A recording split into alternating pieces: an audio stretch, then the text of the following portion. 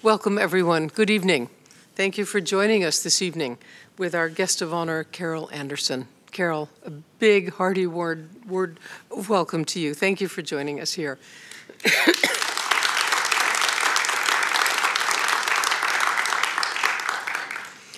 Carol is a professor of African American Studies at Emory University in Atlanta, Georgia. And of course, as we all know, Georgia has been sort of the spearhead state in the, all the recent permutations in American politics. She is the author of a number of books, including the one with, I think, probably one of the best titles ever One Man, No Vote. Uh, and the subtitle is How Voter Suppression is Destroying Our Democracy. Her newest book is this one, The Second. And the second refers to the Second Amendment, uh, uh, which gives Americans the right to bear arms. Uh, but the subtitle of this book also says, Where do we stand in this discussion, uh, which is horrendously topical, of course, about gun ownership, bearing guns, uh, and the abuse of guns. The subtitle is Race and Guns in a Fatally Unequal America. And of course, all of us have seen what has happened recently in Buffalo and now just recently in, uh, in Texas. Uh, so I think there is no doubt in any of our minds about how topical this discussion is. I wanted to also start by saying a special word of thanks to our partners in this event this evening. That's the Bertelsmann Foundation in Washington, D.C., and also Humanity in Action, uh, run and directed by Judith Goldstein, who was kind enough to bring us into contact with Carol and make it possible for her to be here this evening with us. Our moderator this evening is Andrew Makkinga. He is a man of many talents. He's a journalist, a presenter, among others, among many others, of the talk show Skin Deep in the, the uh, uh, Rode Hoed here in Amsterdam, which I thought was a wonderful talk show about race because it was both deep and funny. And I think that's a unique talent of Andrew's. He's also a radio DJ. He has his own program on soul and jazz on the NPO. Uh, and I'll leave it to him to prove to you how wonderful he is. No, I'm not done yet. Hang on, Andrew. I'll be right there. I want to. Sorry. I wanted to share with you a couple quotes of Carol's and a couple statistics on where America stands now on the subject of race relations.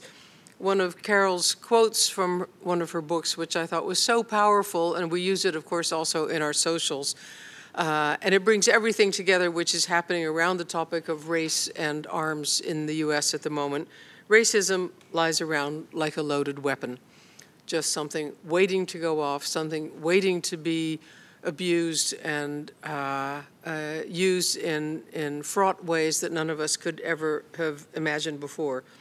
And I think Carol said also that um, political violence has now become an acceptable method of bringing about your aims. How did we come to this? The U.S. is now on the list of backsliding democracies, according to the International Institute for Democracy and Electoral Assistance. That's not the way I saw my country when I was growing up. Something has changed, something really fundamental has changed, and it scares me. About white supremacy, Carol also had a very powerful quote saying that white supremacy is the most dangerous adversary of American democracy. These are all topics that we'll be talking about this evening under the exciting leadership of Andrew Makkinga. Andrew.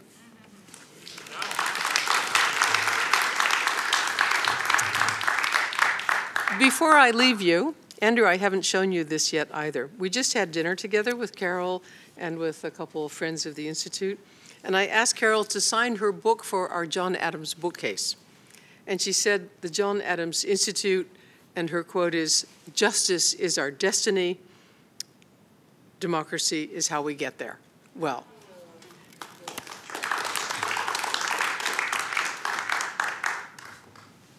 Uh, thank you, Tracy. I've never had such an amazing introduction. I'm actually starting to think that I can do something. It's really, I mean, wow. Uh, good evening, everybody. as uh, Tracy said, my name is Andrew. Uh, Andrew Makkinga, Dutch, born in Uganda uh, Uh, as Andrew Opino Ochoa Temsiwe in 1982, East Africa. I'm proud to be a Dutchie, but also a Dutchie that has a certain proximity to what happens in America, like the white Dutch people.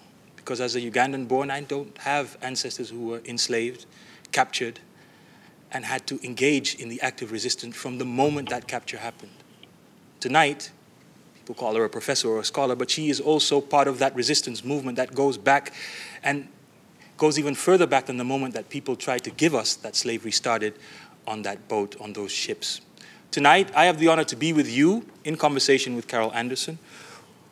And I'll just say a few things. She's going to speak first. Uh, afterwards, I'll have a conversation with her, and then at the end, we'll engage uh, with you and, and make some space for questions. Are there any Americans here tonight? Okay, that's great. I also, just want to say that one thing that struck me with that proximity coming from colonial Africa, raised in the Netherlands, learning so much. Her books, to me, the ones I read, I haven't finished them all, were eye opening. And I'll explain why. It brought me much clarity about the effects that white supremacy has on the lives of blacks in America and far beyond. Because there's a thing in the Netherlands, we like to say, oh, it's America. Look what's happening over there. We have nothing to do with it. And the core of her research agenda is how policy is made and unmade, how racial inequality and racism affect that process and outcome, and how those who have taken the brunt of those laws, executive orders, and directives have worked, resisted, to shape, counter, undermine, reframe, and when necessary, dismantle the legal and political edifice used to limit their rights and their humanity. I would like you all to give a warm welcome to the woman who this week, Wednesday, will receive the James W.C. Pennington Award at the Heidelberg University, the one and only Professor Carol Anderson. Thank you very much.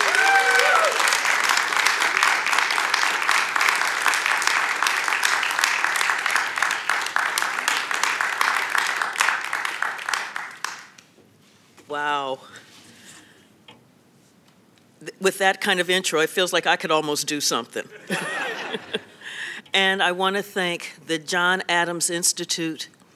I want to thank Tracy Metz, and I want to thank Ian so much for the wonderful, warm welcome that I have received here. It has been fabulous.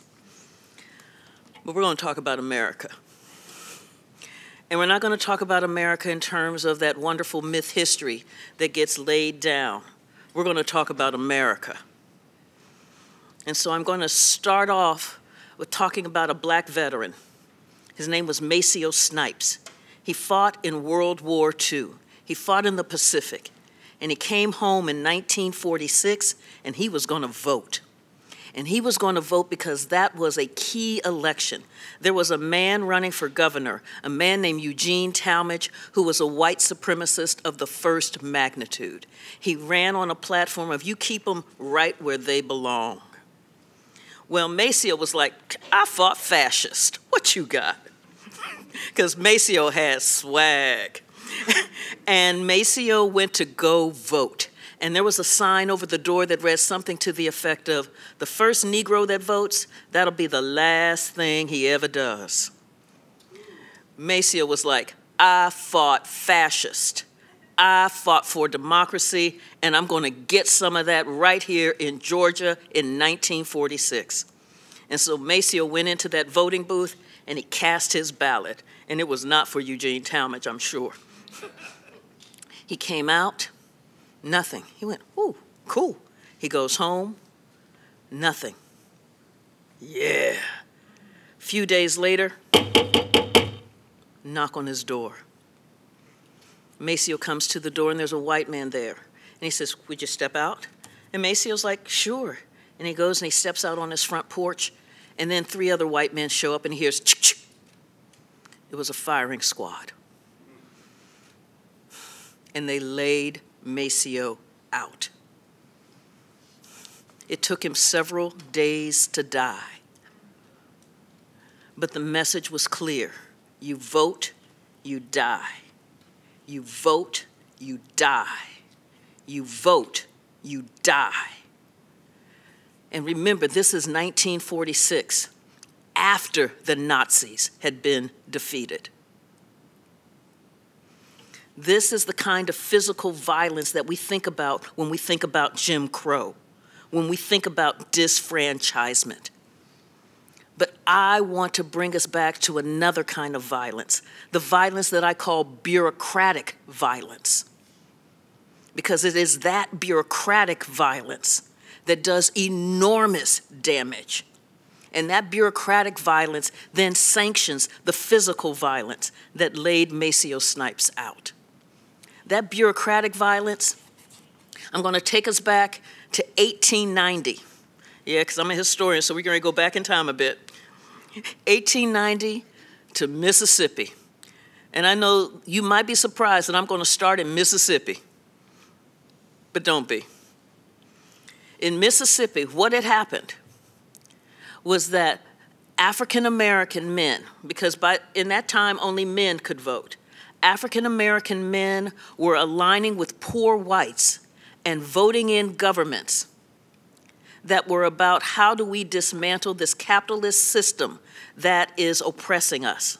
How do we put in place policies and politicians who believe that when you work, you should be able to have a living wage? How do we do that? And so, as they were joining together, the powers that be looked at that alliance and said, Oh, we got to stop this. We cannot have this. And so they started hollering voter fraud voter fraud, voter fraud. We need to have election integrity. We need to clean up the ballot box. We need to ensure that our democracy is strong and free of all of this fraud. That's all we're going to do. And so Mississippi rewrote its constitution. It's called the Mississippi Plan. And the Mississippi plan was how do we stop black folks from voting without saying we don't want black folks to vote? Because there was this thing called the 15th Amendment in the Constitution that came after the American Civil War. And in that amendment, it says, the right to vote shall not be abridged on account of race, color, or previous condition of servitude. So that's what prevented Mississippi from writing a law saying, we don't want black folks to vote. But Mississippi said, oh, but we got this. What we're going to do is we're going to use the legacies of slavery and make those legacies the access to the ballot box. And we're going to make it all look legitimate. So, how do you do that? So you say, oh, Democracy is expensive. You know, holding these elections are so expensive. You've got to have all of these ballots. You've got to have people who are taking the ballots. You've got to have people who are counting the ballots. So if you really believed in democracy, you would be willing to pay a small fee, a poll tax, in order to be able to vote. Now, it sounds legitimate on its surface, except that small fee because of centuries of unpaid labor, followed by the black codes, which tried to reinstill sl- slavery by another name after the Civil War, followed then by sharecropping, meant that that small fee amounted to 2 to 6 percent of a Mississippi farm family's annual income. And that poll tax was due every year. Imagine paying 2 to 6% of your annual income to vote, the poll tax. But the Mississippi plan was like, you know, but there are some black folks who have a little bit of money. And so they're going to look at that poll tax and go, what? So we're going to add another hurdle. Another hurdle was the literacy test. And again, it's going to sound legitimate like a protection of democracy. And saying, you know, we really want to make sure that the folks who are voting understand our laws, our value systems, understand what, what we are, who we are. So we don't think it's too much to ask that they read a section of the Constitution. Now, that might sound like, well, yeah, you, you want an informed electorate. The problem is during slavery, the enslaved were banned from learning. banned from being educated, banned from literacy. If they slipped up and proved, showed that they were literate, they could be killed or they would be tortured, sending the message to the rest of the black community don't you learn anything? and then after the Civil War, you had severely unfunded black schools. So when you have the state ensuring that you do not have a quality education, and then the state requiring that you have a quality education to be able to vote, that's how you can say we don't want black folks to vote without saying we don't want black folks to vote. And there were other elements in this Mississippi plan. I'm not going to go through all of them because we only got 25 minutes and I could be here for 49 hours with these things. but what it said was if you get through this one, there's another hurdle. If you get through this hurdle, there's another hurdle. If you get through this hurdle, there's another one. And then there's another one. It's making the right to vote a privilege. That all of these barriers that you have to achieve and accomplish in order to be able to vote. The Mississippi Plan was so effective that it started in 1890 and there were 190,000 black men registered to vote. By 1892, two years later, there were 8,600. And the US Supreme Court in 1898 blessed the poll tax and the literacy test in the Williams decision, saying it does not violate the 15th Amendment because everybody has to pay and everybody has to read. Now, that literacy test was so wicked, and I do mean wicked, in that this thing is still in living memory. Mr. L, who's, who is a man who was part of my village, who helped raise me in Columbus, Ohio, he lived in Georgia. And he told me that his literacy test question when he went to register to vote, because they didn't want him reading the Constitution, it was, How high is up? The registrar had such arbitrary power over who could vote. In Mississippi, one of the questions were, was how many bubbles in a bar of soap?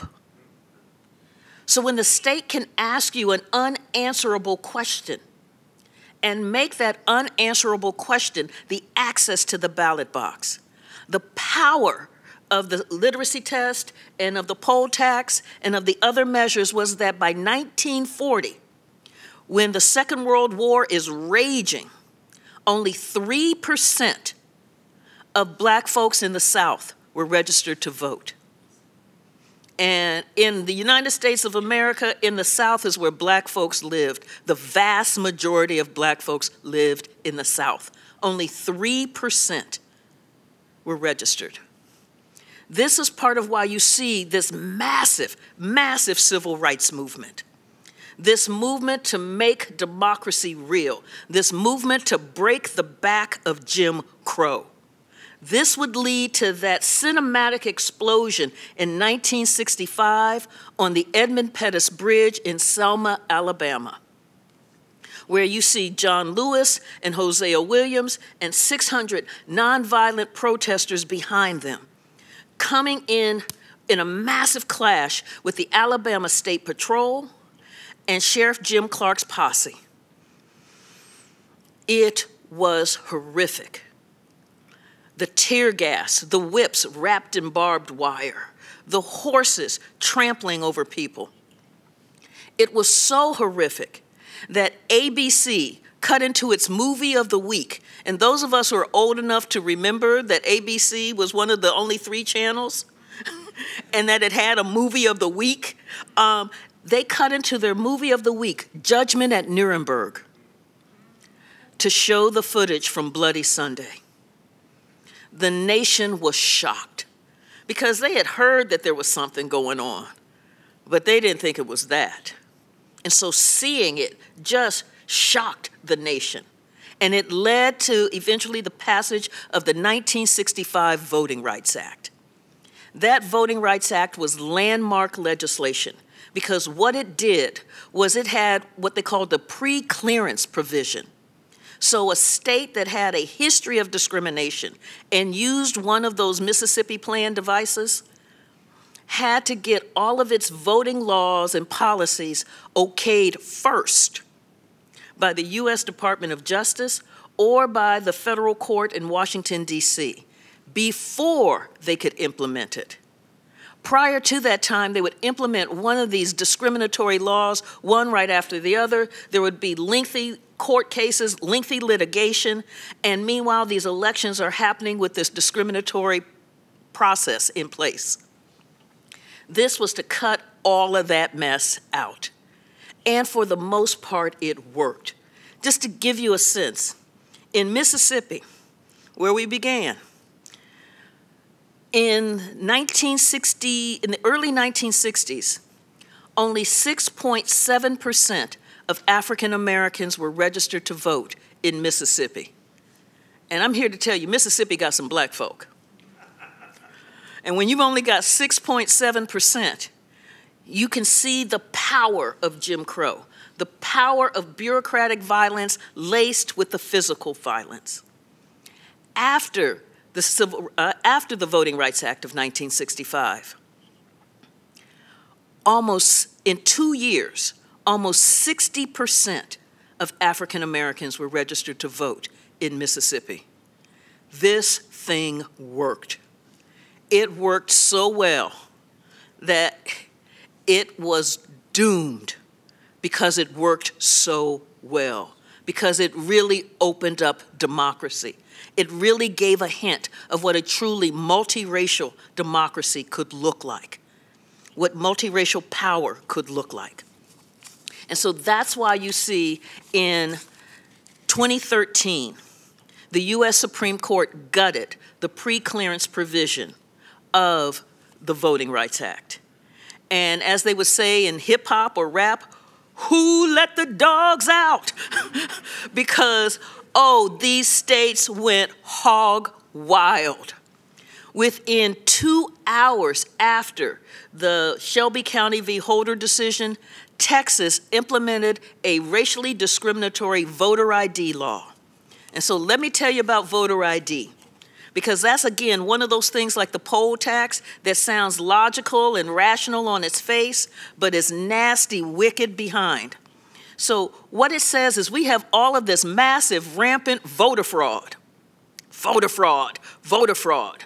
And so, we don't think it's too much to ask for you to show an ID to be able to vote.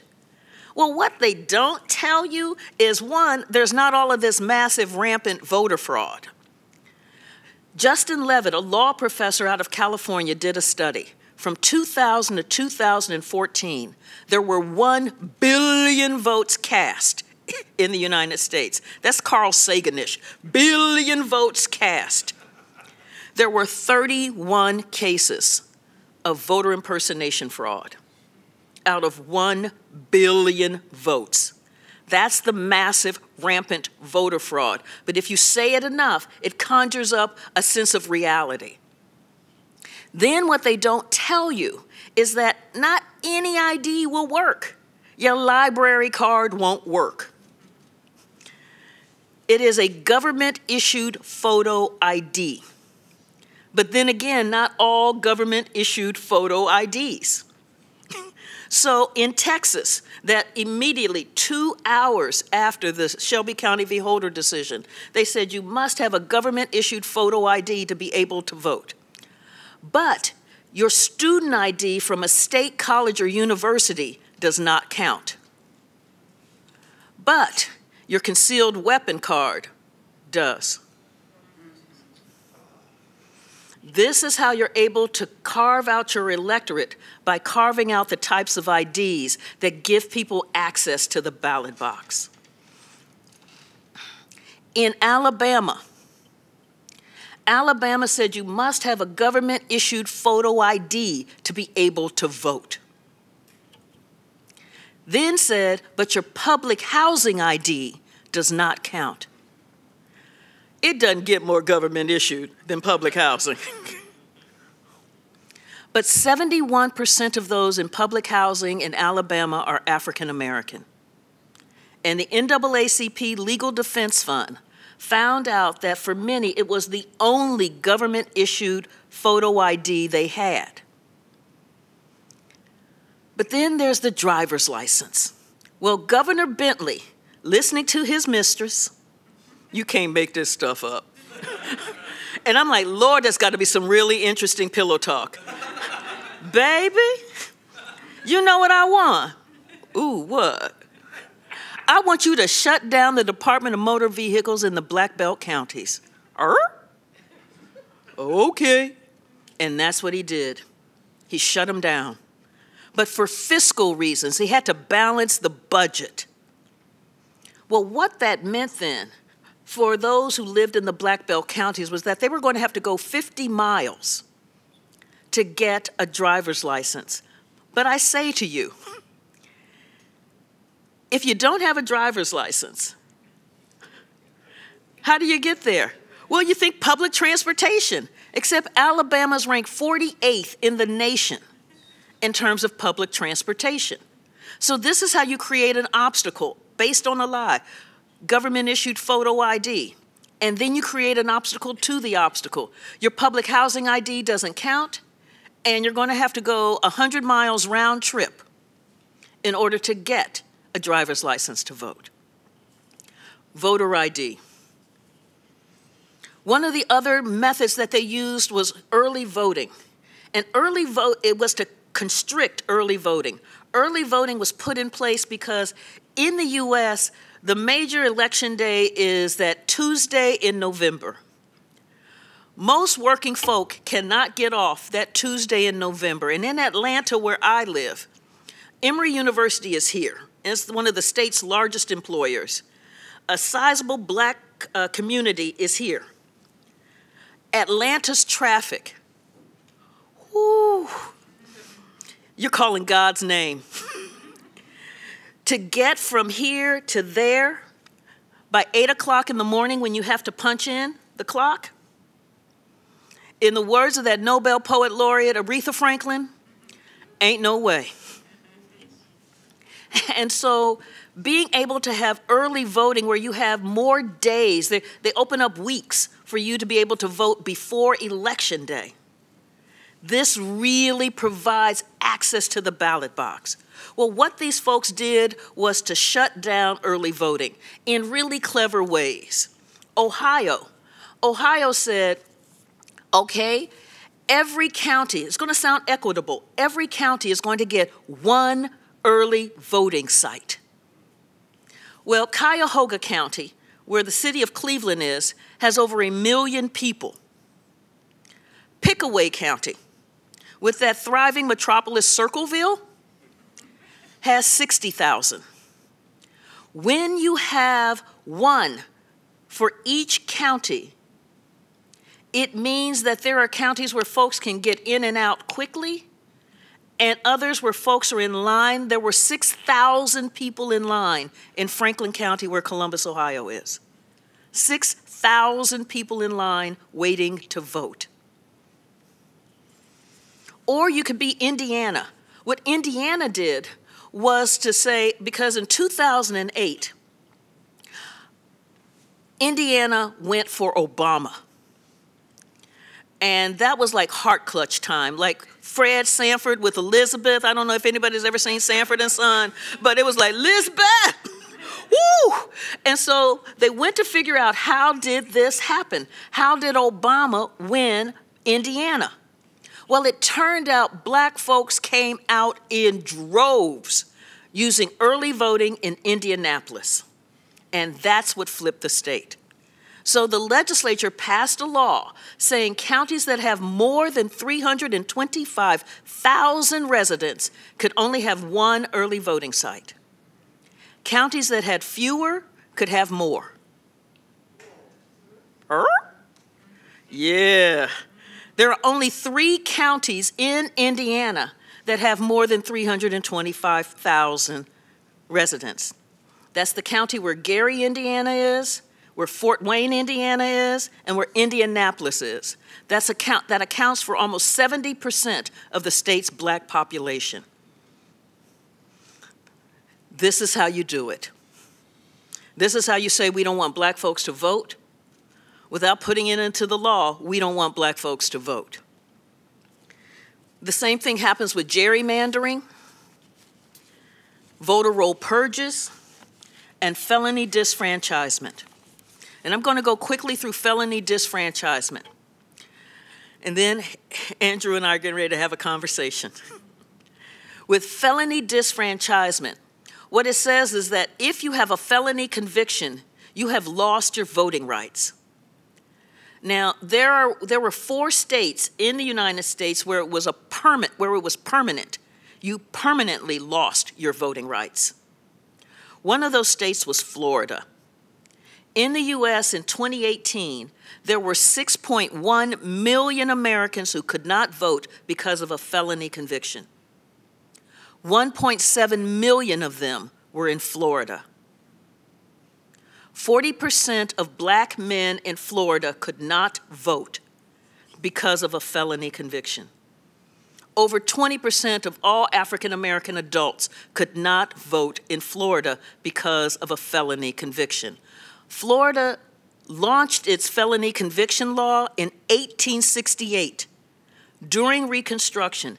After Congress had passed the Reconstruction Act of 1867 that said that black men could vote, Florida then wrote its felony disfranchisement law and then crafted laws that were only applicable to black people or only applied to black folks. This is how you get that massive racial disparity. Well, in 2018, the communities got together and there was a ballot initiative, Amendment 4, and it was to restore the voting rights to 1.2 million of that 1.5 million. It passed by 65%. Yeah. Well, legislature looked up, and again, it was a heart clutch Fred Sanford Elizabeth moment. Because if you're thinking about 40% of black men and over 20% of the black population being able to get their voting rights back, and they said, ah, we know we're going to need clarifying language for what does it mean when you have completed your sentence. And to complete your sentence, it means that you have not only served your time, done your parole, but you have paid off fines, fees, and court restitution and restitution. Well, activists looked up and said, Lord, that sounds like a poll tax. Because you don't have to pay your income tax to be able to vote. And you don't have to pay your property tax to be able to vote. But here you have to pay fines, fees, and restitution. So this thing goes up to the court. The court ruled that no, this isn't a poll tax.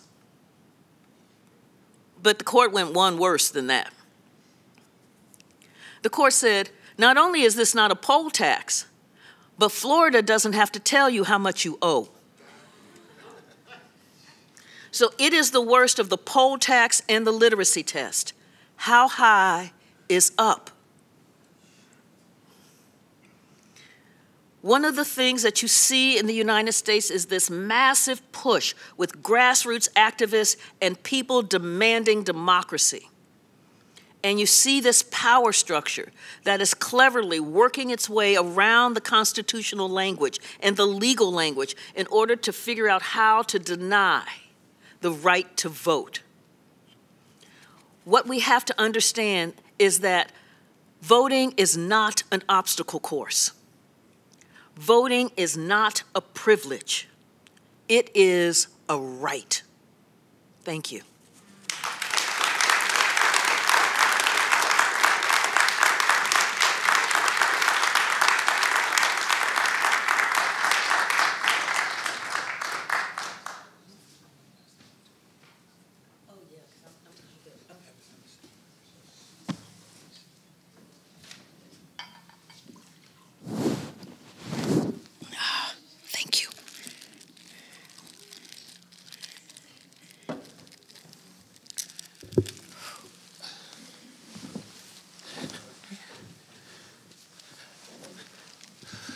In, um, Carol, in Dutch, there's a word for a, a fun conversation.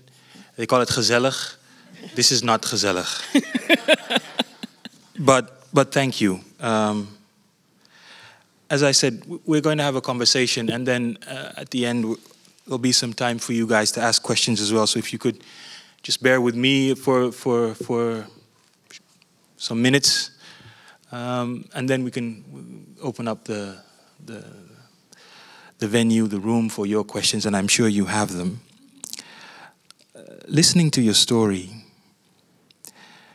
I saw a trailer this week. It was by a documentary called 2000 Mules. And then I looked it up. Some of the most high profile Donald Trump supporters, conservative figures, and conspiracy theorists gathered in the former president's Mar a Lago resort to watch a screening of the 2020 documentary 2000 Mules. They called it Mules, and it actually also shows black men stuffing ballot boxes. What the F is going on? That's insane. How could you show that? Let me tell you about the Southern strategy. So, after the Civil War, remember that Lincoln was a Republican. And so the slaveholders hated Republicans from the depths and the breadths and the heights that their soul shall reach. They hated Republicans. And so the South became what was called the solid Democratic South. And it was hardcore anti civil rights, pro filibuster, pro lynching. I mean, it was hardcore. But the Great Migration, which happened from like 1915 to 1940, black folks started moving out of the South. And they started moving to these large states that had big electoral college votes. Places like New York, Pennsylvania, Michigan. And what that did then is it made the issue of civil rights now a national issue because those states, those elected officials in those big states had to start paying attention to what that black voting population wanted, or they weren't going to be in power. So black folks started flexing, put it another way. And, and as they started flexing, you started seeing presidents like Truman going, oh, okay. And so you get the deseg of the military order. You get the deseg, desegregation of, of the federal bureaucracy you start seeing the solid Democratic South going, oh no, no, we don't, no, no, this is not, this is not our Democratic Party, and you start seeing them slowly moving away from the Democrats because you have these Northern Democrats who are having to pay attention to the issue of civil rights. What they figured out then was that the Republicans really said, ooh, there is gold in them there hills of white supremacy and we're going to tap it. But we're going to tap it in a way where it's not so obvious because the civil rights movement has says you can't be really obvious about this. And so I, am going to quote Lee Atwater, who was uh, President Reagan's uh, political strategist. And Lee Atwater said, Well, in 54, you could say the N word, and it didn't hurt you. But by 1968, you say it, it backfires. So then you start talking really abstract things taxes, forced busing. He said, but the whole point is that blacks get hurt worse than whites. So it is, there's a, a the depth of anti blackness that is embedded in the operating code of how the party operates is how you can have that. It is the party that gave us law and order, that gave us welfare queens, um, that gave us the Willie Horton ad, which uh, George Herbert Walker Bush ran that had a black man's face, um, basically saying his p- opponent was soft on crime. Yeah. It's, it's amazing. And, and, and Reagan would start about tax cuts, and everybody would know for who the tax cuts would be if you voted for him. Mm-hmm. So you, I was reading your book, the second, and you know what, what struck me? What? Um, chapter 2, page 44. I just want to mess around with Tracy as well. Vice President John Adams. Yes, Lord. He said, uh-huh. Negroes turned loose upon the wor- uh, on the world would only know how to live by violence or theft or fraud. This institution we are here gathered around today is named for somebody who is hailed in history books. One of the things that I really make clear to my students is that you never fall in love with your subjects. People are complicated. They are really complex.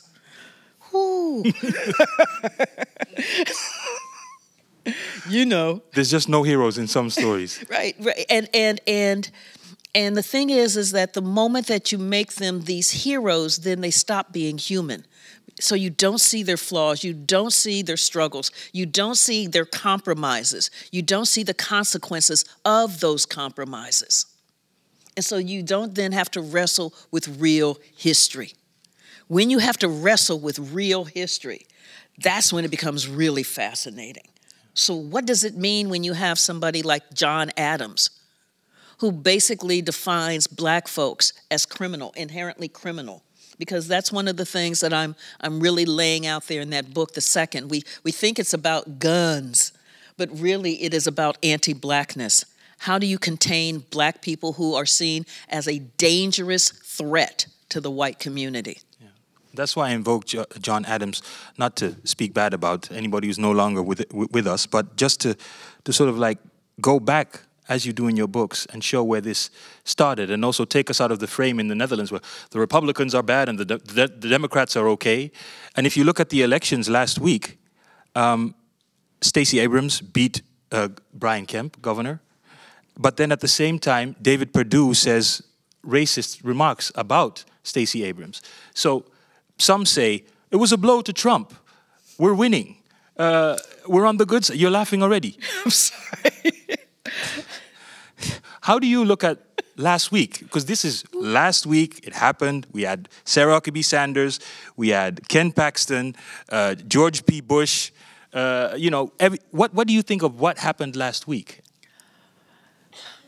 American democracy is hanging by a thread. So in 2020, we knew that it was that again, American democracy was hanging by a thread. We knew, frankly, that if Trump won, the only thing that was containing him was the fact that he had to run for reelection. And think about that was Trump contained. We knew that there, it would have been, been what they say, Katie bar the door. There would be no holds barred in what would have been his second and then ongoing term we knew we were looking at the end of democracy. That is not hyperbole when you start reading through the stuff from the insurrection on January 6th. And so you got in the midst of a massive pandemic, you got a record breaking turnout. People were determined to fight for this democracy. The response to that overwhelming turnout was to define folks in Atlanta, Philadelphia, Detroit, Milwaukee, and Phoenix, cities that have sizable minority populations, as being the ones who stole the election from Donald Trump. That's the big, the big steal, the big lie. We are there again because the response to that massive, overwhelming turnout was then you had a number of state legislatures pass what, what is a, a twin pincer motion at American democracy. One of those, those flanks deals with figuring out how to stop that kind of turnout from happening again. The other flank is to figure out how to lower the guardrails of democracy that prevented Trump from being able to override the will of the electors, the will of the people, the will of the voters. So it's removing the power from secretaries of state. It's allowing hyper gerrymandered state legislatures to take control over local election boards and put in their own election czar that can certify the election. So when I see what's happening, so yay, uh, Hice went down. Hice was uh, running for Secretary of State, who would be in charge of certifying the election in Georgia. Well, uh, it's, it's more complicated than that, but would be the Secretary of State in Georgia. And um, he went down to defeat. Yay. But Herschel Walker, mm. Yeah. Mm. Go ahead. Mm. You know, this is where you're like, Lord, I wish I had a praying church.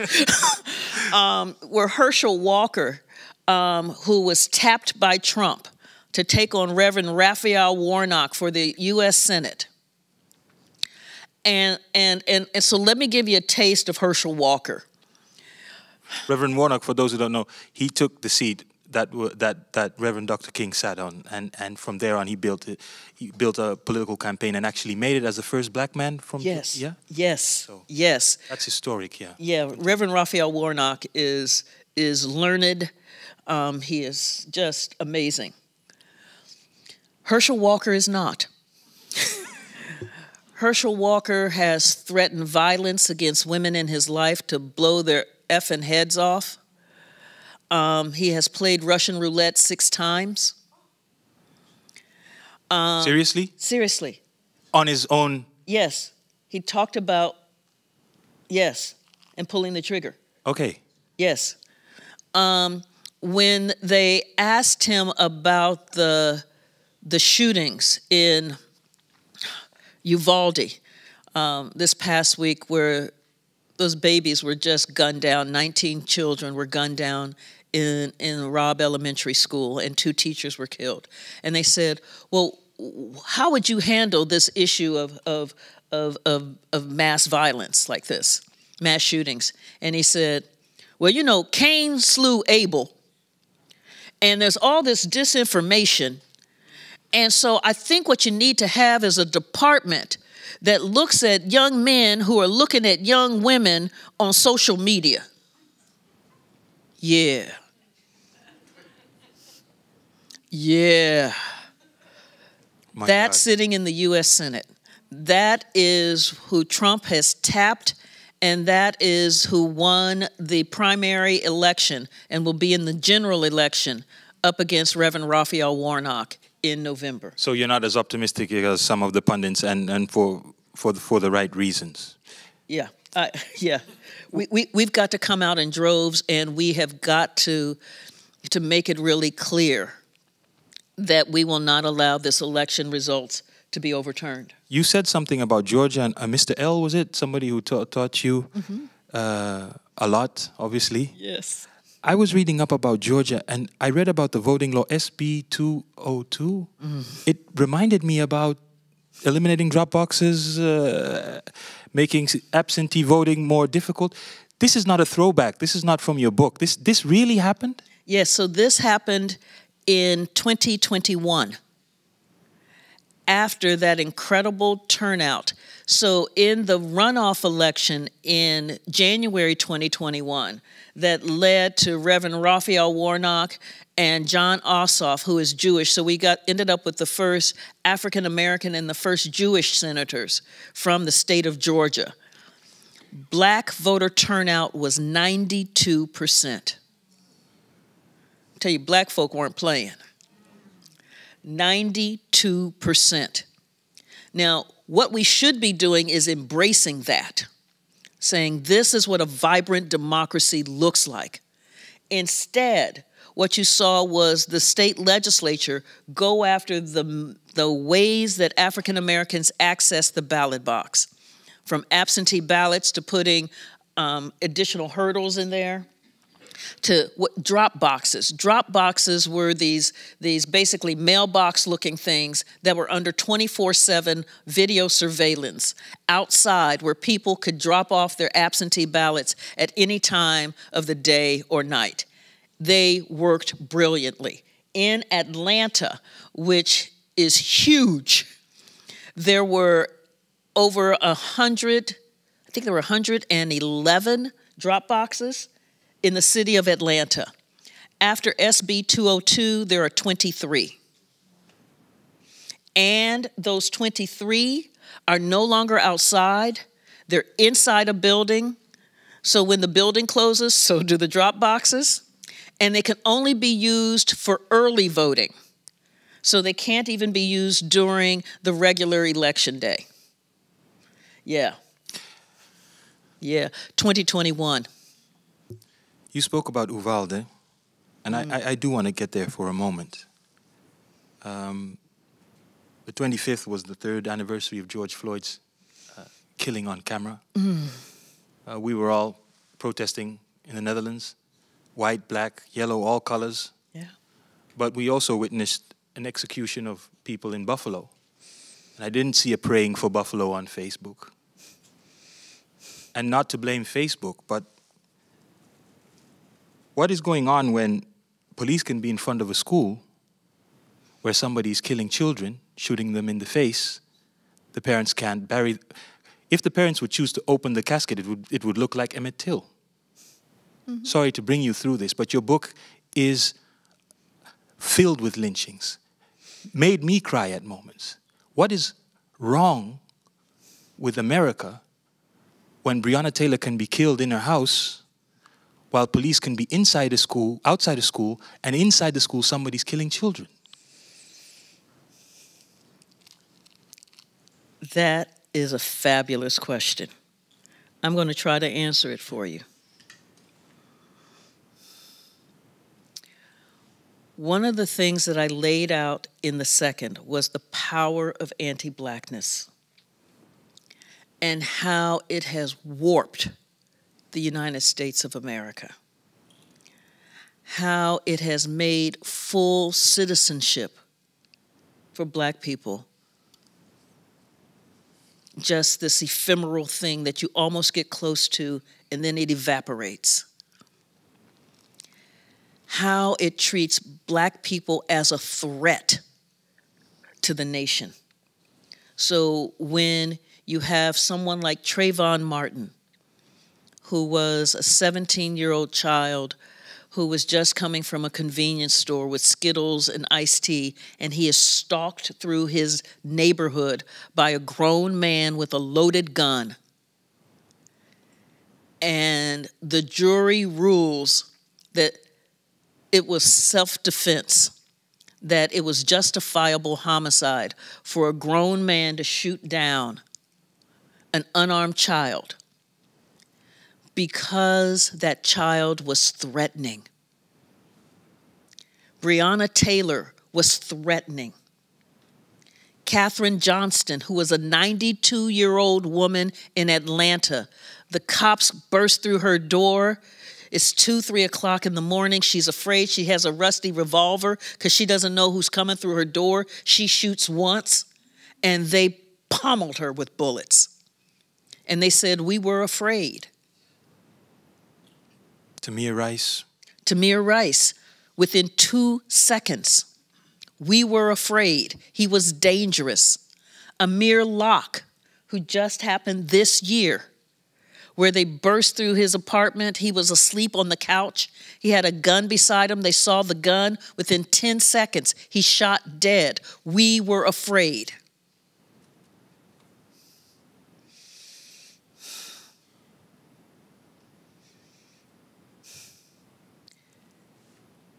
The fear of blackness, the fear of black people, is what prevents the United States of America from implementing real gun safety legislation. are Americans aware of that fear? That, that, that fear of black people, the inherent criminality of blacks. It comes through in these kinds of Southern strategy ways. So after the shooting at Uvalde, you have the politicians like Greg Abbott, who is the governor of Texas, and John Cornyn, I believe, uh, who is a U.S. senator from Texas, talking about, yeah, there's Uvalde, but what about Chicago? And Chicago becomes that kind of what they call dog whistle. It is a way to say it without saying it, but you hear it and you know exactly what it means. What about all those black folk killing all of those black people? Because you know, black people are dangerous. And so that is what I call that narrative of black pathology. Yes, over 80% of black folks kill black folk, are killed by black folk. Over 80% of white people are killed by white people. But do That's you news. But do you ever hear about white on white crime? That's a term that's like, "Arr?"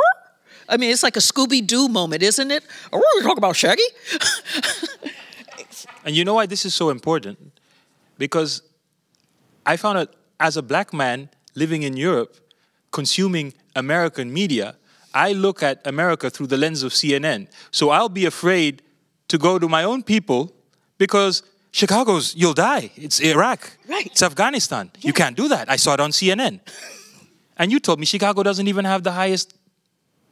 It's not the highest. Neither is New York. Mm-hmm. You said about the book, it isn't a pro gun or an anti gun book. This is a book about black people's rights and seeing those rights consistently undermined because of anti blackness coursing through the nation that sees black people as a threat, and so it doesn't matter whether we're armed or unarmed. Yes. Do we need to rethink what real safety and security looks like in the United States? We absolutely do. And and we have almost 400 million guns in the United States. We have more guns than we have people. And we are not safe. We are not secure. Our children are afraid to go to school. But one of the things that I have argued when I said anti blackness stops us from having this real conversation.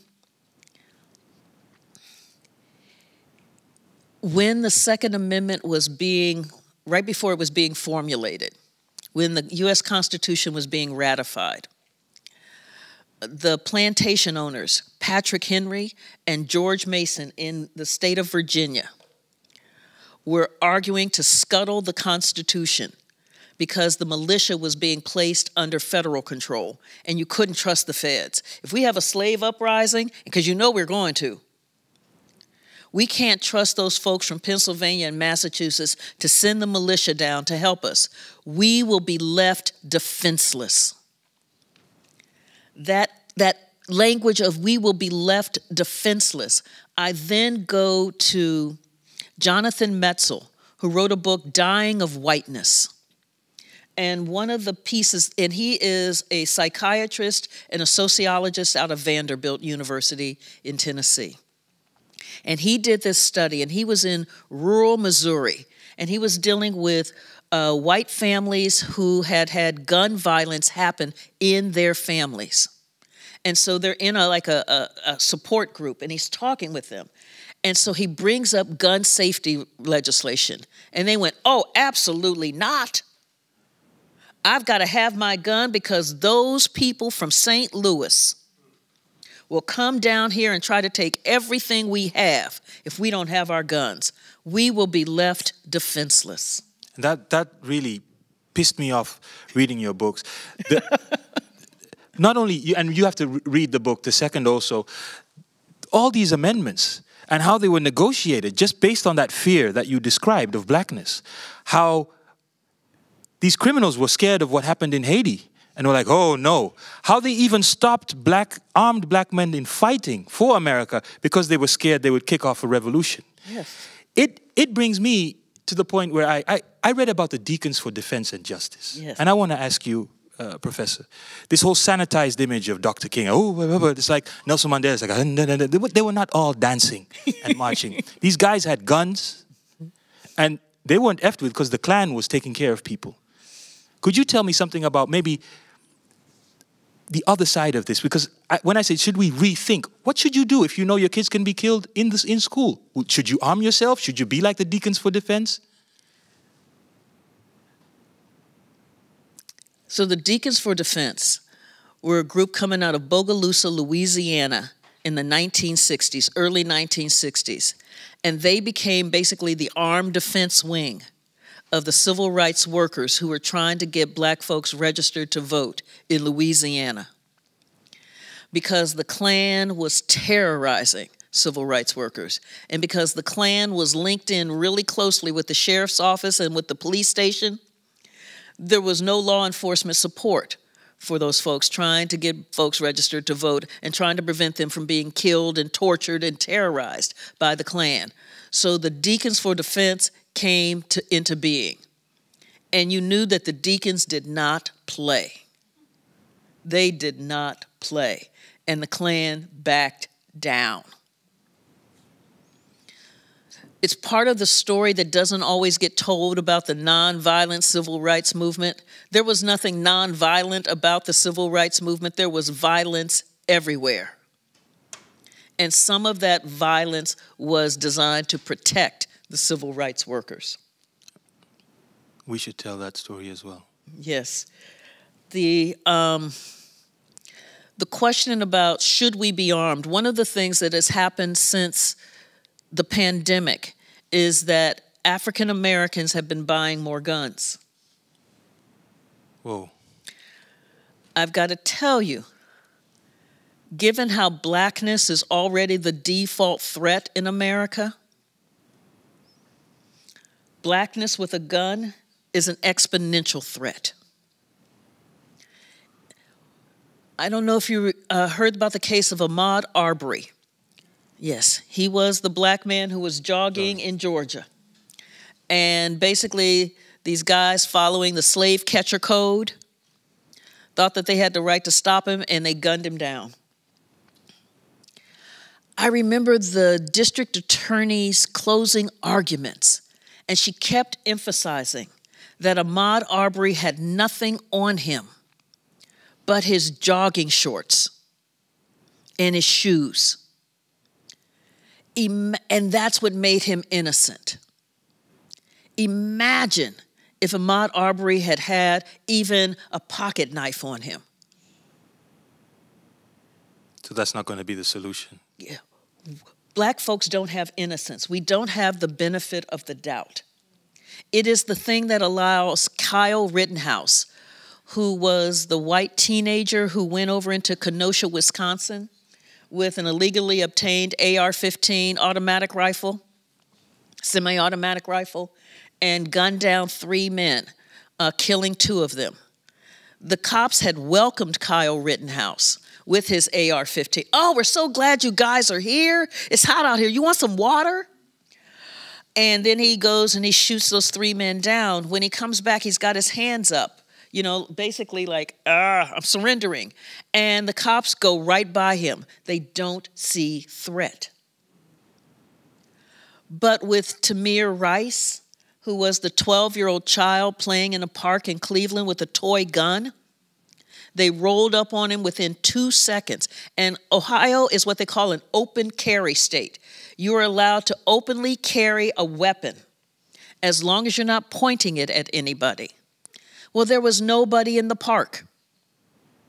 And so Tamir Rice is there with his toy gun. Granted, it didn't have the red tip on it to say, hey, I'm a toy, but he's not pointing it at anybody. He's not a threat. Within two seconds, he's gunned down because they saw black gun threat. Thanks for sharing that. We have a few minutes left until we go into question and, uh, and answer. Mm-hmm. In, in your book, you also write um, uh, not, on, not only in this book, but there's another book, uh, Eyes Off the Prize, The United Nations and African American Struggle for Human Rights, mm. 44 and 55. And I, I was reminded of that because you speak of Henry Cabot Lodge, US Ambassador to the United Nations, saying, I can clearly see the harm that Little Rock is doing. More than two thirds of the world is non white, and the reactions of their representatives is easy to see. What I'm trying to get at is if getting more guns to black people is not going to work, for example, Netherlands, I think it's the fourth or fifth investor in, in, in, in the United States. You wouldn't believe it's such a small country, but we have a lot of uh, money to spend. What role could the global community, because you've studied, uh, you've studied this, mm -hmm. and looking at the past gives us answers, you know, towards the future. Yes, it does. Um, a lot. Um, and I don't mean to be flipping that, in that one of the things that I am convinced that move the civil rights movement, besides having the economic space for that to happen, was the domestic inter- or was the international pressure on the domestic side. Um, because the U.S., this was the Cold War, and the U.S. was doing this strut like it was the Jim Crow leader of the free world. And one of those things is not like the other. It is really hard to be the Jim Crow leader of the free world. And so you saw the civil rights leadership and the activists pushing on that, pushing on that international image, compelling the White House, compelling the Senate to move, compelling the Supreme Court to move. That kind of international pressure is not there right now. Maybe we have the same problem that we deny that anti-blackness courses through our history. mm-hmm. Oh, whoops! Did I say something? and and and and one of the things that we know about movement is that movement can be global because a lot of these issues so so the the issue of anti-blackness is tied not only to slavery but also tied to colonialism the issue of the structural racism that those systems put in place that create these massive inequities it's not just in the US. We see these inequities throughout. When we begin to work together, to think together, I really do believe that we could have the world and the democracy that we deserve. That's beautiful.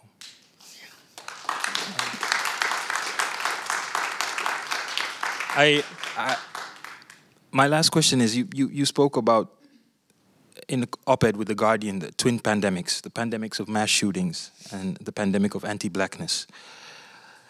Um, of course, there's Roe versus Wade. We could go into all types of rabbit holes, but there's not. we'll be here next week, the year after. Uh, the last book that Martin Luther King wrote was "Where Do We Go From Here? Chaos, Chaos or Community." community. Mm -hmm. Where, Where do, we, do we go? go? We have the power to make that decision. And that's one of the things that we really have to be cognizant of. What oppression does, what voter suppression does, what the use of gun violence and terrorism does, is it makes you believe that you are powerless. It makes you believe that this is as good as it's gonna get understand they are wielding that power, wielding that suppression, wielding that terror because you are powerful. Never cede your power. When I have folks talking about, oh, it doesn't matter if I vote, because same thing's going to be, it's always been what it's always been. That is ceding your power. That's giving it up without a fight and that allows it to always be what it's always been. One of the things I tell young folks right now in the US, the demographic of young folks, there are more of them than there are of baby boomers.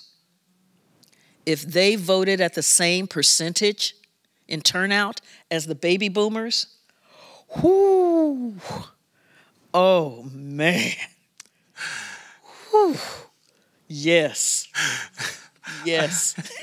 if I have speaking engagements, I always welcome the white audiences. I'd like to welcome you as a minority here because we now, time's up.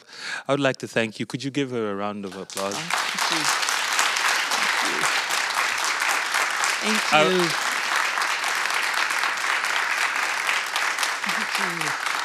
I would also, I also really want to say that reading reading the book is very important. Please do that. There's going to be a book signing in 15 minutes. If there's ever a moment that I actually demand that somebody goes and gets a book, please do it today. Uh, and get it, get one for your cynical friend. Everybody has one cynical friend. Um, I also want to thank you for, for, for going through this because this is being a scholar, but also dealing with something that touches yourself and your and your heritage is is not easy. Uh, I want to go to some questions. Uh, I have this microphone. Oh, that's all. Would you, shall I really throw it? Is that okay? Is, can that? Yeah, yeah. Yeah? Okay. Oh my God. Woo! Yeah.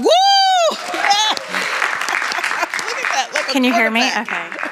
My dad made me practice American football. um, Professor Anderson, thank you so much for coming to the Netherlands. I, like you, am from the United States. Um, I loved the things you had to say and to share about the uneven and, in many ways, made invisible parts of our history as a nation. Um, the question that comes to mind, well, it came to mind when you talked about colonialization and colonization and colonialism, is as a person from the US who's lived outside my country since 2008, it's really interesting to see the way our exceptionalism gets used to keep um, I would say, narratives of suppression and domination silent in places outside the US. So I wanted to know if you if you've thought about that or if you could think about that right now. So, for example, the Netherlands has um, a fabulously terrible history of colonization and suppression of black bodies and brown bodies.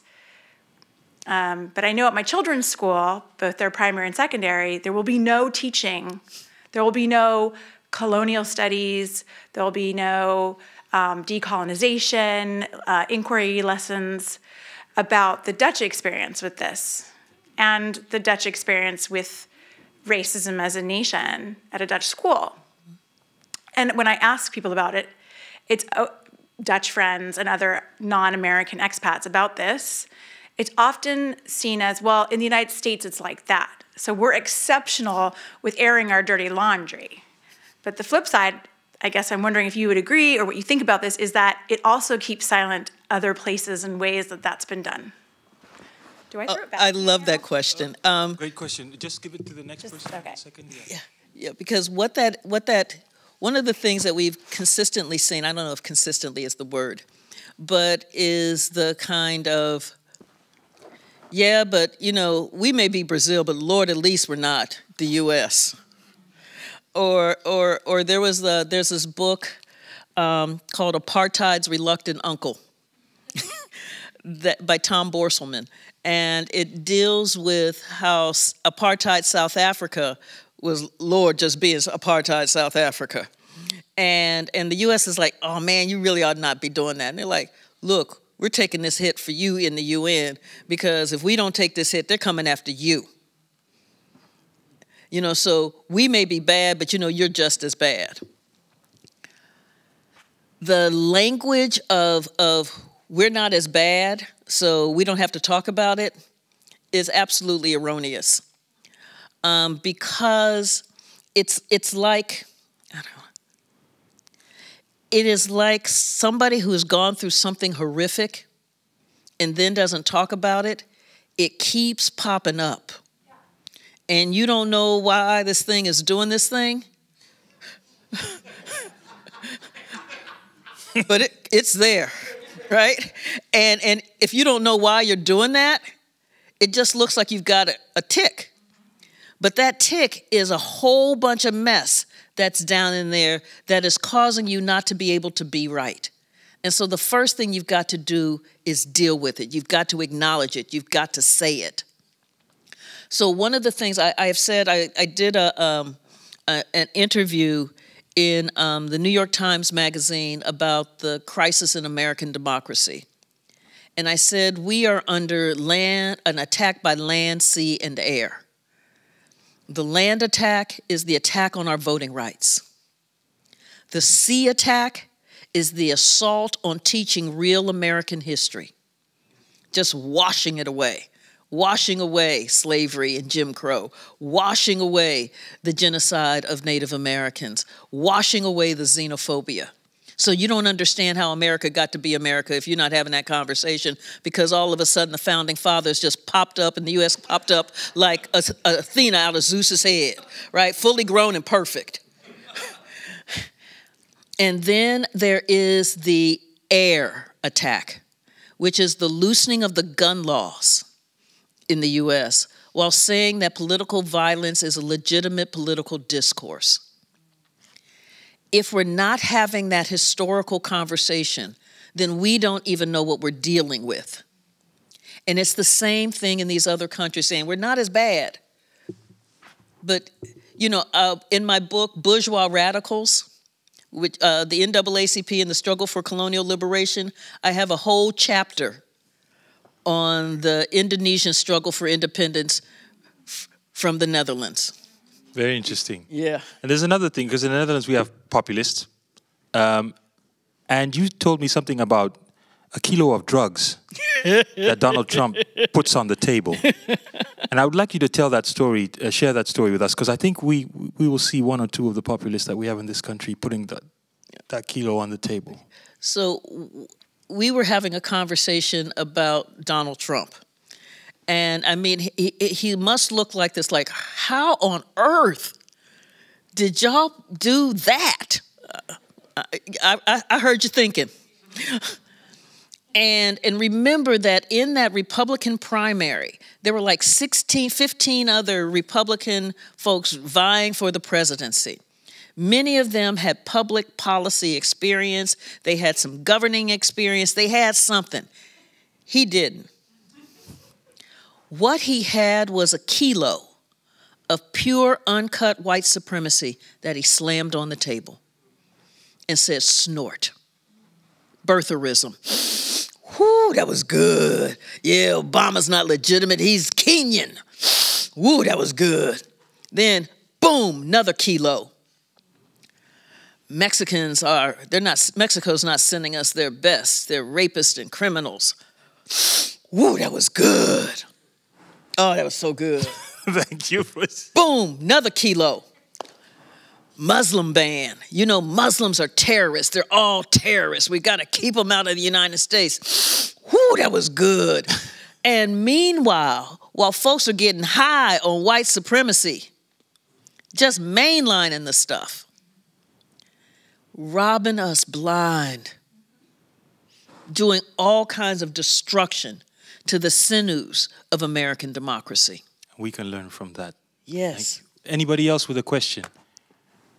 Uh, to the left, and uh, I see Carla here. Let me see. Are there any other people who have a question? Yeah, Thank you. Um, it was great to hear. stand up, please. Oh, sorry. It was great to hear all of your examples about the ineptitudes of the police in the U.S. There's a lot of calls for abolishing the police. What's your take on that? That's a great question. Um,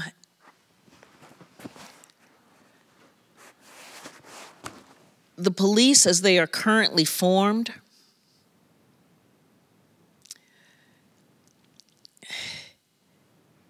I mean, I just see the violence. I just see the terror. I see the. I heard, uh huh, yeah. Uh, you know, uh, and I, and, you know, just just today, the Kansas City police gunned down an unarmed pregnant black woman, shot her five times.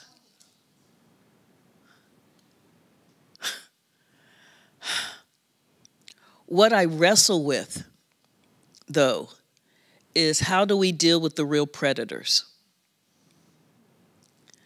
because there are the folks out there who prey on children. There are the folks out there who, who rape women. We have to be able, as a society, to deal with that. I'm not convinced that the structure we have now is able to. And so, this is when we're rethinking what safety and real security looks like. This is part of the conversation of re- really rethinking what real safety and real security looks like. We've got to be able to deal with the predators in our society, and we have to be able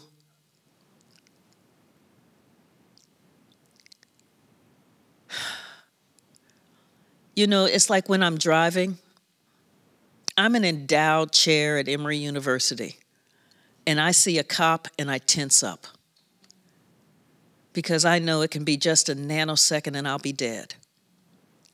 The fact that that is a thought pattern, and it's not just me. I, Yeah. I don't know how you how you do it. When I'm in the states, I'm I'm scared to cross the streets. If I don't have a passport on me, what will happen? Mm-hmm. Mm-hmm. Is there anybody else? Uh, Carla had a question. The gentleman there has a question. Uh, okay, we'll end here, but let's go to the other side. Gentlemen. One second, the microphone is coming your way, sir. There it is. Is it working? Yes, Yes. it's loud and clear. Thank you very much for your presentation. It was uh, more than chilling. Uh, I have a question about the current government. I think President Biden's done a great job of appointing people of color to responsible posi- positions, and they're doing a darn good job. But the popularity rating of the Biden administration is bottoming out. It, it's it's frightening in a way because we were all encouraged that maybe things were going to change a bit, but it's not looking so good right now. What do you think about that? Yes, Professor. Yes. I think that we have, one of the issues is that we have um, a media sphere that needs drama. Um, a media sphere that um, really has not given Biden his due. When you think about what he walked into, the the economic catastrophe, the COVID nineteen catastrophe, the jobs catastrophe, um, the international reputation catastrophe, the the catastrophes, the catastrophes, the catastrophes. Um, he's dealt with a lot. Of course, there's more that I would like him to do, but I'm also really well aware that we've got a Senate that has a razor thin majority and it has put disproportionate power in the hands of a couple of folk who have blocked some of the key legislative um, agenda items in the Biden administration. And so part of what that has done is it has made folks go, mm, we did. We waited in line for 11 hours to vote.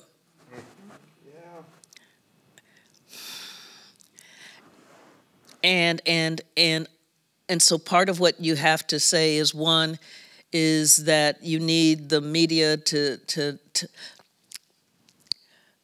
I think it was Les Moonves who was the head of CBS. And he, he said in 2016, I think it was, Trump is bad for American democracy, but he's great for ratings. And so when you have a, a business model that requires that kind of, of churn, that kind of agitation, you sometimes see them longing for it because Biden doesn't do lots of press conferences and say lots of dumb, stuff, stupid stuff. Thank God. Um, um, and he just goes to work. and employment has plum unemployment has plummeted. Um, the deficit that got all of that play, I think, has gone down, but is getting ready to go down by 1.7 trillion or something. Like what? Um, but you don't hear that. Even the crisis over the baby formula, that wasn't his crisis.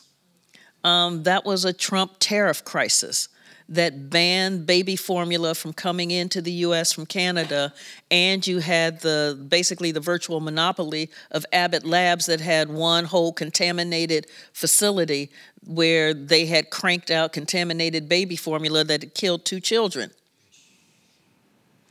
So they shut that thing down but you saw him using the levers to work through how to, to get formula into the United States so that babies could be fed. But you don't see that as part of the headline anywhere. Um, so I think that part of it is the messaging. I think that part of it is um, a Senate that has not been able to deliver on voting rights, not been able to deliver on um, police reform, criminal justice reform, has not been able to deliver on climate change. Um, and so part of the strategy is to hold on to the majority that's there in both the House and the Senate and then add significantly to the House so that in the final two years of Biden's first term, that there can be movement, significant movement made. But it is convincing folks, A, that democracy really hangs in the balance. And I think watching what the, the state legislatures are doing in terms of uh, denying women their reproductive rights and control over their bodies, in going after uh, the LGBTQ community, in going after voting rights, um, you begin to see what their frame is and beginning to think about what that looks like writ large coming out of out of out of Congress. And so I think that that's going to be part of what needs to be really messaged to the folks is is that we we are up against it and we need everybody. As they say, as as, as Madea would say, everybody. Thank you. Um, I think it's the, the, two final questions here. Did, did you have a question as well? Just, just yeah. Oh no! So I'm looking at Tracy because we need the book sign up before we get kicked out. Could we do three questions and then yeah? So we'll go to you and then we'll end with. Uh... Thank you. Um, thank you. I actually had a follow-up question on what we were just talking about. Mm-hmm. Um, there's now spoken of the new majority, as you also said, the minority uh, voters, which I say in quotation marks, because as you said, 60% of worldwide population is non-white. Um, and this consists of the minority vote, um, single mothers, if I'm correct, and the younger generation. And maybe it's a two part question. Um, do you see that for this midterm elections, this can be a change where, where maybe these voters can really make a change? Or as you're also showing how there is more and more difficulties in voting and there's so much discouragement that you maybe see that this can be an obstacle where this progress for um, an actual majority in the House uh, maybe is restricted or stopped? So, one of the things um, we, we, we talk about learning from each other. Um, and one of the things that I have seen is the way that when black folks are ticked, brother was like, I'll stand in line for another 11 hours. um, and, and it is that determination. It is that determination. Oh, I see what you're trying to do that is so important. And so, one of the key pieces was that in 2018, young folks' voter turnout doubled from like 18% to 36%, which was like, whoo! I know 36% doesn't sound like much. I'm telling you, to go from 18 in 2016 to 36 was just, oh, it went to over 50 in 2020 it is keeping that level of engagement at that pace or even higher that is going to be absolutely essential. And I think that one of the things is not only um, the the Supreme Court uh, ruling that's coming down on Roe v. Wade, mm. uh, which deals with uh, abortion rights or women's right to choose, control over her own body. Shocking um, but also the stagnation in the face of the slaughter in Buffalo, the slaughter in California, and the slaughter in Texas. I mean, it was it it was like John Lee Hooker, boom, boom, boom, boom. Yeah.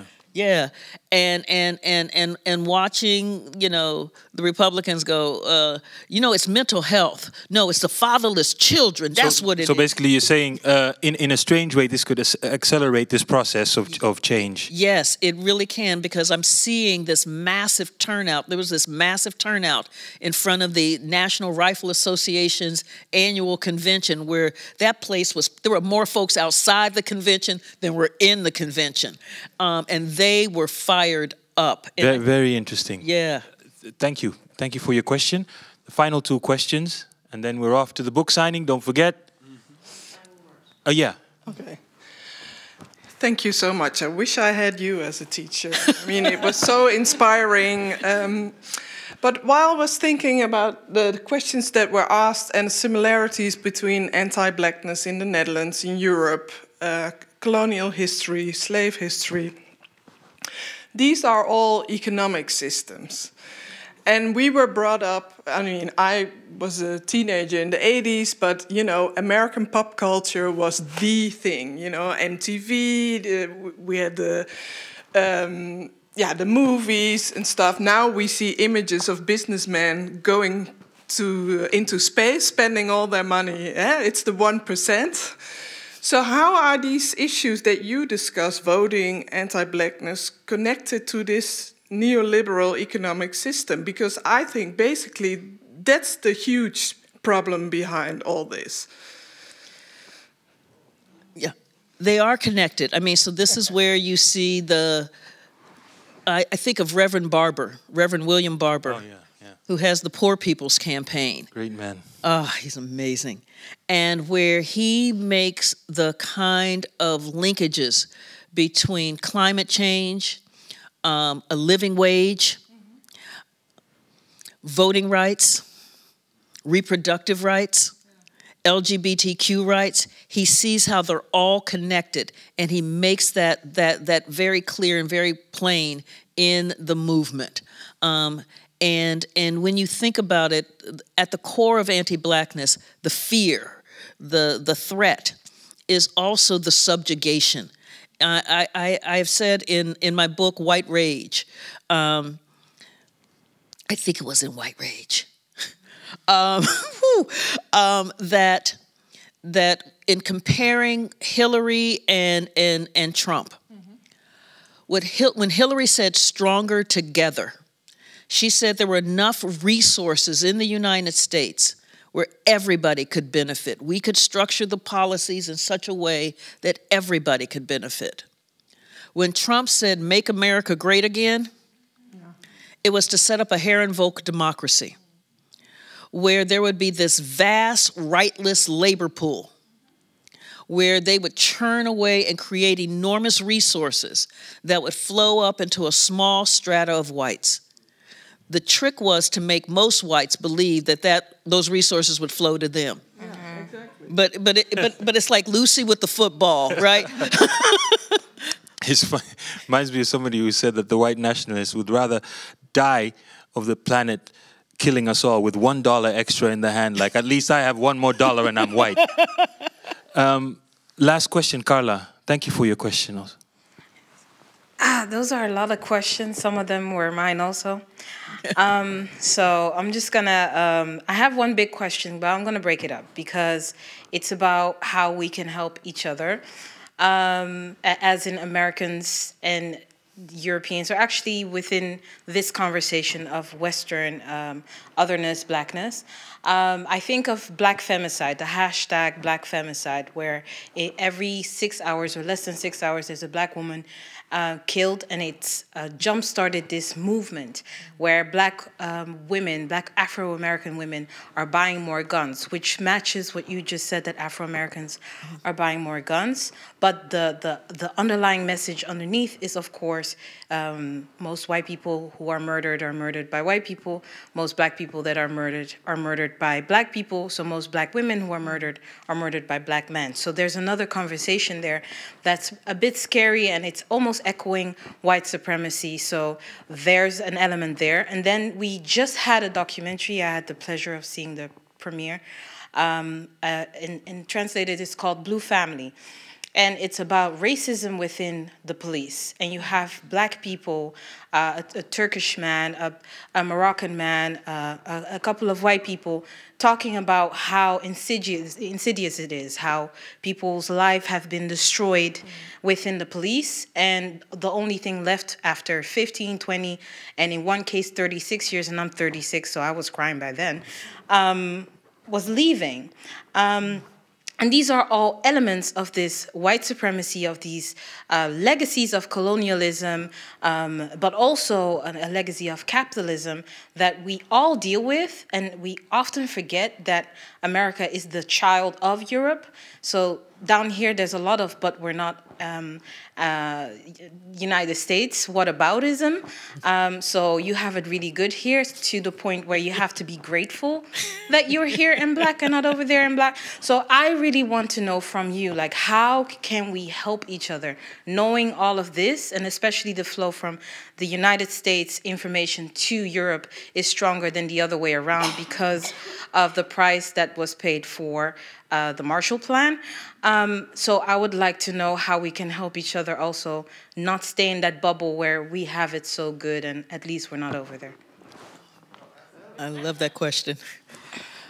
Um, I, yes, help.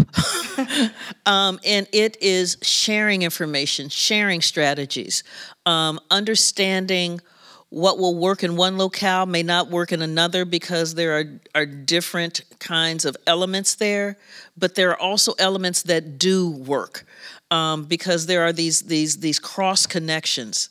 Um, so you talked about like the killing of black women. What you're looking at is patriarchy. And there's this wonderful book that looks at the long Southern strategy. I keep going back to that Southern strategy. But what it says is by Angie Maxwell and Todd Shield. And what it says is that that Southern strategy is predicated, it's got three prongs. One is anti blackness, another one is patriarchy, the patriarchy of white supremacy. And the other prong is white Christian evangelicalism. Mm. Mm-hmm. Mm. Mm, yeah, I heard it. In, I heard this sounded like church then, right there. it's like, well, and and and and so when you and so when I said that, you heard where it was ringing, and so you know what the issue is there then, and so it helps us as we're talking with each other about. So it's not American and it's not Dutch, it's patriarchy. And when you're looking at that patriarchy, because what it's doing is it's defining manhood and masculinity in ways that are absolutely violent, that require the subjugation of a woman, um, the control of a woman. Oh, Lord. That's how we help each other. Thank you. By those strategies, talking it through, understanding our connections. And I think you, if you if you'd like to, because you have other stuff to do, but you should come back because that's a whole nother night. uh, the, I mean, thank you, Carla, for your question. Thank you all. Thank you. Yeah. Thank you, Carol. Thank you, Andrew. Thank you to our audience for this. Uh, thought-provoking evening. I always have very uh, mixed feelings about an evening like this because on the one hand, um, for me as an American, it's painful to see all the uh, trials and tribulations of our country. It also makes me very happy that there is a place like the John Adams Institute where we can still present thoughtful Americans who reflect on um, what's going on in the U.S. and what needs to be improved, although this evening was especially hard, having heard these rather confronting words about John Adams. I was always so relieved that he was not a slaveholder when so many others of his contemporaries were, and now it turns out that he's not quite as much of a good guy as I had thought. So this will give us uh, this will give us pause. Um, in that New York Times article uh, that Carol mentioned in the magazine, she was one of six speakers thinking about um, the state of our country. She uh, mentioned a, a quote uh, about the by the Think House, the Freedom House, where it was mentioned that America has now slid down to the 59th place on the list of um, uh, countries for uh, backsliding democracies, as I mentioned in my introduction, below Argentina and Mongolia. So I think that tells that us that there is work to be done. We're moving now to the book signing. The book that's here this evening for sale is the second, Carol's book on gun rights. Uh, I want to invite you to our next event, June 14th, on the Innocence Project, also an evening that has everything to do with racial relations in the U.S., about so many black men condemned uh, unjustly and having served such long sentences. Joining us will be Ricky Jackson, who, sent, who served a sentence of 39 years until the Innocence Project managed to get him free. Uh, with us also will be Mark Godsey, as a professor of criminal law and the head of the Innocence Project in your own home state of Ohio, Carol. So that's June 14th.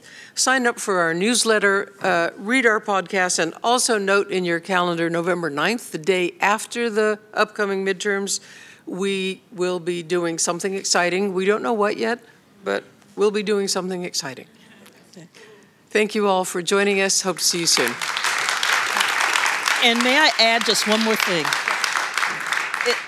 For the Innocence Project, just know that the U.S. Supreme Court has just ruled that evidence of innocence cannot be brought into a federal court in order to get somebody off a death row. So that was a, a, Supreme Court decision that just came down last week. Oh my God. Yes. Yes. Thank you so much. Give her one more round of applause.